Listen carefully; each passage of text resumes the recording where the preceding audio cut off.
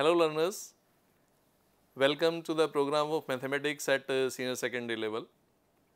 In one of our previous program, we have discussed some aspects of trigonometry and uh, we covered the topics up to the conversion of angles from degree to radian, their values, how do they changes, their sign from one quadrant to another quadrant. Today, we will extend our knowledge further.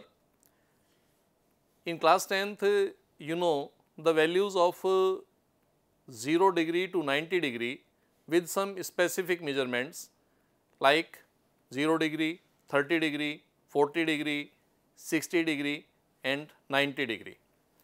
But uh, what if I need to find out the value of sine 75 degree or say the value of tan 15 degree then what I will do.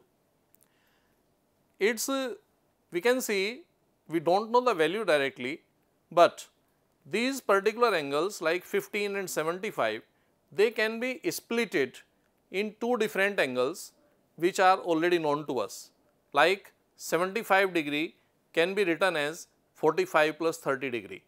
Likewise, 15 degree could be expressed as 45 minus 30 degree.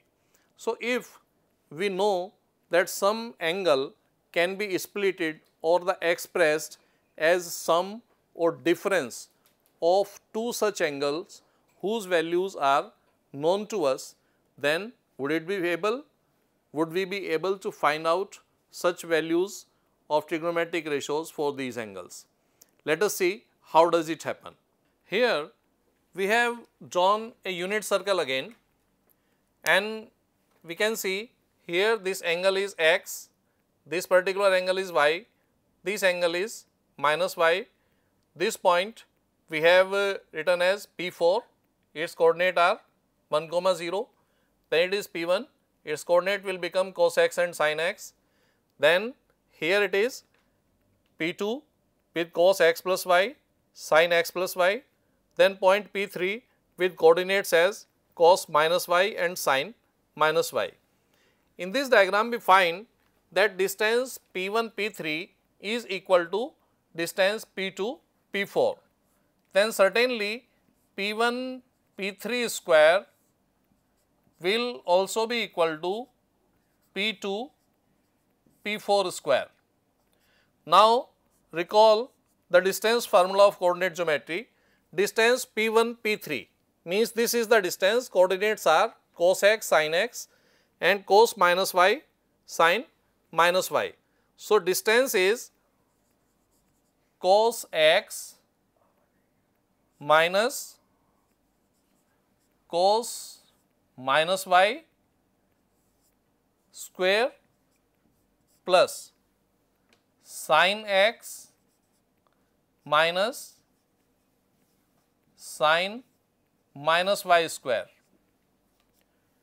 equal to distance P2 P4. Here it is P2 and here it is P4. So, 1 minus cos x plus y square plus 0 minus sin x plus y square. When we expand it further, we find it is cos x, cos minus y, we know it will be equal to cos y. So, cos x minus cos y whole square plus sin minus y we know minus sin y. So, it will become sin x plus sin y sin x plus sin y whole square equal to 1 minus cos x plus y whole square plus sine x plus y whole square. On simplification of this particular expression, we get a result as cos x plus y equal to cos x cos y minus sin x sin y. This particular expression helps us to express an angle which is expressed in sum of two different angles as x plus y. Similarly, we have another result cos x minus y is equal to cos x cos y plus sin x sin y. These are known as the formulae of sum and difference. In the same way, we have formulae for sine also.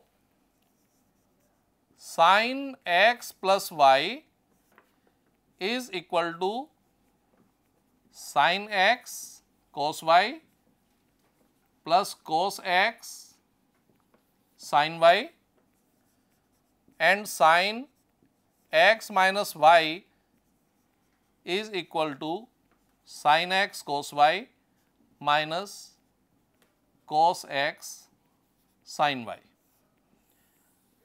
Using these four results, we can find out values of all such angles what we were discussing now 75 or 15 degree etc.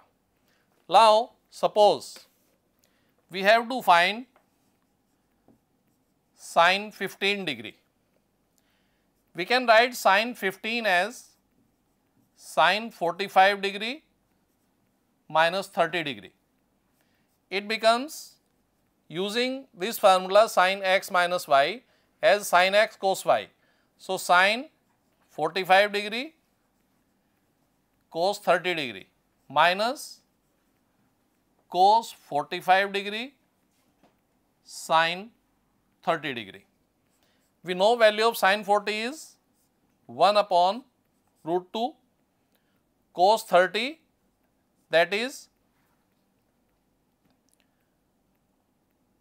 root 3 upon 2 minus cos 45 1 upon root 2 and sin 30 is 1 upon 2 and as denominators are same this is 2 root 2 the numerator becomes root 3 minus 1 and we are able to find out the value of sin 15 as root 3 minus 1 upon 2 root 2.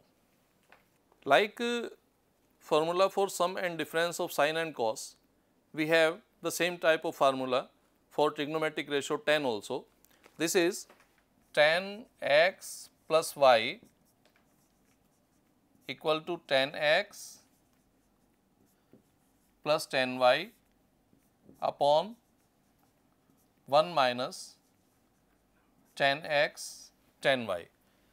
Similarly, for tan x minus y, it becomes tan x minus tan y upon 1 plus tan x tan y. Using these two formulae, let us see how do we simplify a problem.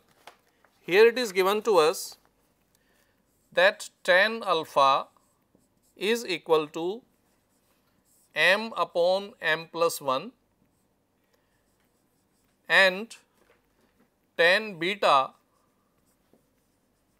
is equal to 1 upon 2m plus 1 and we have been asked to find out the value of alpha plus beta. See when I write for tan alpha plus beta, right side becomes tan alpha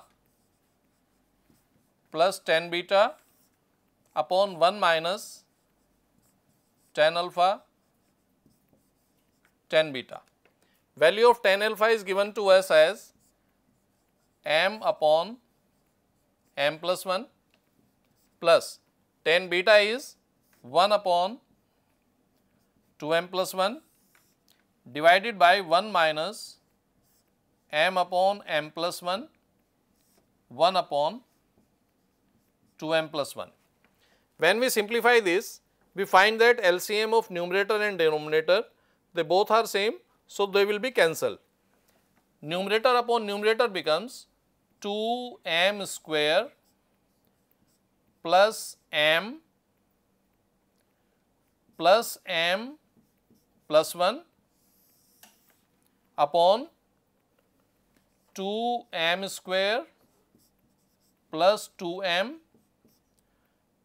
plus m plus 1 minus m. This m will be cancelled and here we get 2m square plus 2m plus 1 divided by 2m square plus 2m plus 1 and we see here numerator and denominator they both are same. So, value is here 1. So, when tan alpha plus beta is equal to 1, we see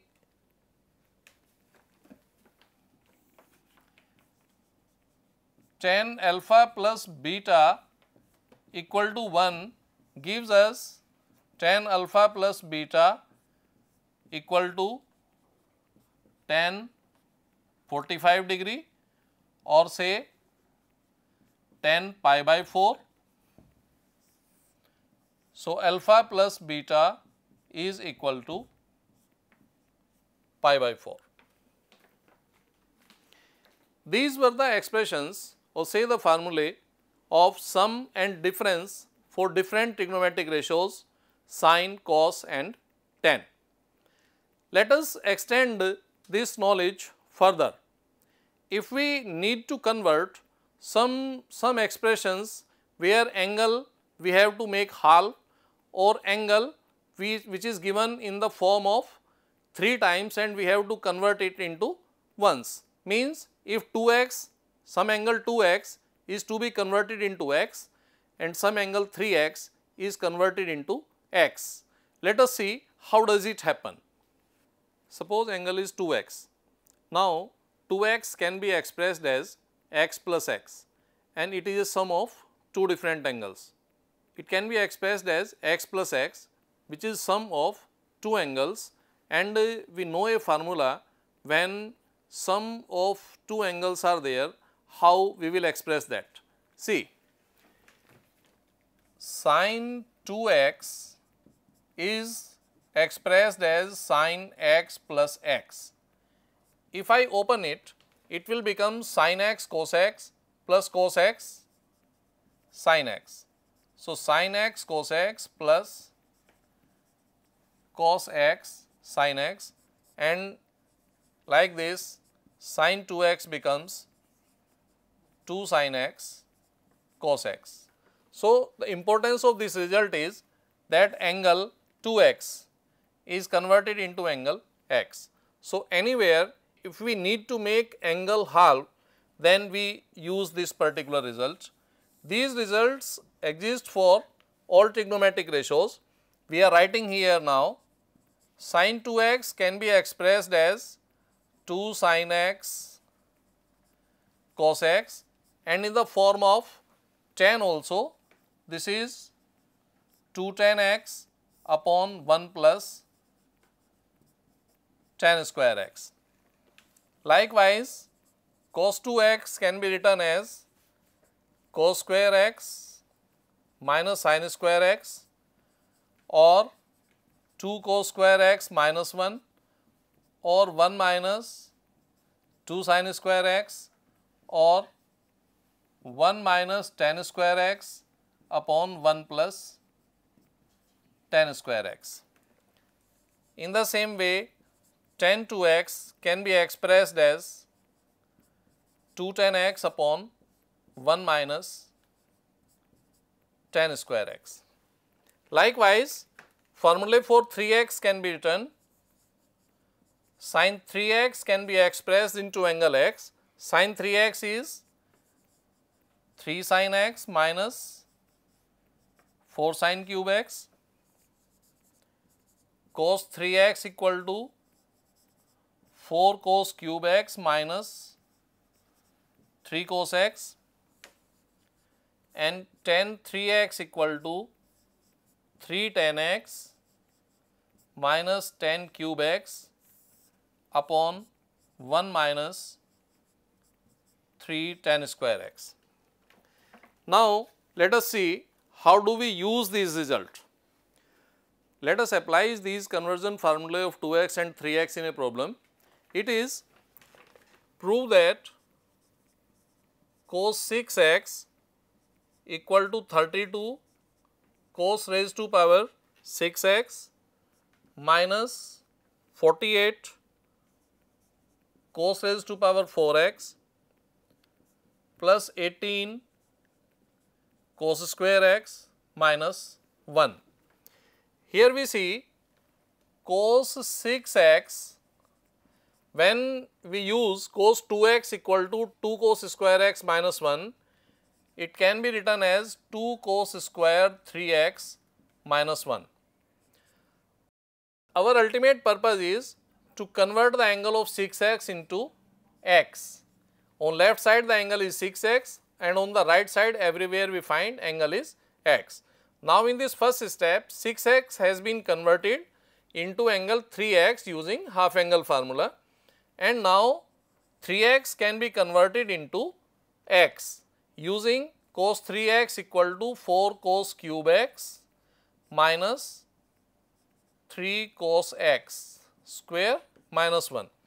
After opening this square we find it is 16 cos raised to power 6x plus 9 cos square x minus 24 cos raised to power 4x minus 1 and the result becomes 32 cos raised to power 6x minus 48 cos raised to power 4x plus 18 cos square x minus 1 which is the desired result as all the angles are converted into x. So, using of all these formula the angle 6x is converted into angle x. Now, let us understand how sum of two trigonometric ratios or the difference of two trigonometric ratios, how it is converted into sum and difference of angles and how product of two trigonometric ratios is converted into sum or different of two trigonometric ratios. This is like this is sine C plus sine D is sum of two different trigonometric ratios, it becomes 2 sine C plus D by 2 cos C minus D upon 2. If it is sine C minus sine D, it is 2 cos C plus D by 2 sine C minus D upon 2. If cos C plus cos D, then it is 2 cos C plus D upon 2 cos C minus D upon 2. If cos C minus cos D, then it is minus 2 sine C plus D upon 2 sine C minus D upon 2. Now, let us understand how product is converted into sum and difference of angles. This is 2 cos x cos y equal to cos sum of x and y x plus y plus cos x minus y. 2 sin x sin y equal to minus cos x minus y plus cos x minus y minus cos x plus y.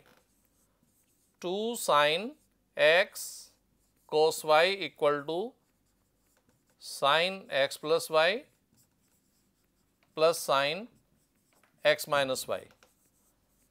2 cos x sin y equal to sin x plus y minus sin x minus y. Now, we shall apply all these formulae in finding out one expression. This is prove that sine 10 degree, sine 50 degree, sine 60 degree and sine 70 degree equal to root 3 upon 16. Here we know the value of sine 60 is root 3 upon 2 and then if we multiply and divide this expression by 2 it becomes 2 sine 10 degree, sine 50 degree, sine 70 degree which is equal to root 3 upon 4 and here 2 sine 10 and sine 50 it can be written as cos 40 degree minus cos 60 degree into sine 70 degree. We know the value of cos 60, it becomes cos 40 degree minus 1 upon 2 and sine 70 degree. At the same time, if we multiply and divide by 2, it will become 2 cos 40 into 2 then expression becomes root 3 upon 8 2 cos 40 sine 70 degree minus sine 70 degree. Converting this 2 cos 40 sine 70 it is sine 110 degree plus sine 30 degree minus sine 70 degree. We know sine 110 degree and sine 70 degree gets the same value and sine 30 degree is 1 by 2. So, value of expression finally comes root 3 upon 16 which was required. Today we studied how to express sum and difference of two trigonometric ratios. Then we understood how to convert sum of two trigonometric ratios into product and then vice versa how product is converted into sum or difference of two trigonometric ratios. We understood how 2x angle is converted into x and how angle 3x is converted to x. I hope you have enjoyed today the trigonometry. Thank you.